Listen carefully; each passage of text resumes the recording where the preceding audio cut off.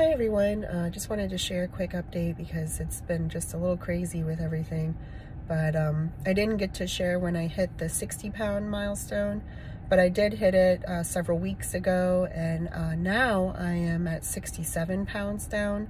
So I will try to do an update at the 70 pound mark um, since I missed the 60, but um, I am still going on it and I have uh, kind of changed things a little to uh, accommodate for um, transitioning into more of a regular routine um, where I kind of shoot for certain calorie amounts during the day. So like I shoot for 250 calories at breakfast and um, about 100 calories for my um, morning snack, which is a um, protein shake with my coffee and um, then I shoot for around like 400 calories at lunch and around 100 calories for a, an afternoon snack.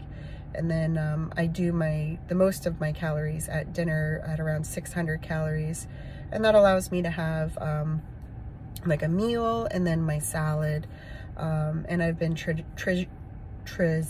transitioning into um, more regular foods and less Nutrisystem foods. I still have lots of Nutrisystem food that I eat, but I don't exclusively eat it. Um, and I don't eat as much of it as I used to either. So um, that's where I'm at now. So 67 pounds and um, I'll try to do an update when I get to that last three pounds to hit the 70.